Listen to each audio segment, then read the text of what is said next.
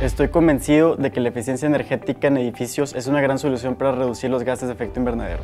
He estado colaborando con el Grupo de Investigación de Energía y Cambio Climático, donde realizamos simulaciones energéticas por medio de los siguientes parámetros, ya sea los consumos energéticos, la zona geográfica y la arquitectura del edificio mencionado. Esto con la finalidad de llevar a cabo una serie de proyectos sin la necesidad de inversión. El mal uso de la energía está relacionado con el gran impacto ambiental. Es por eso que en el grupo de investigación de energía y cambio climático nos enfocamos 100% en eficientizar esos procesos. Me apasiona la investigación ya que tengo la firme idea de que no hay que limitar el cerebro para seguir aprendiendo. Investigación que transforma vidas.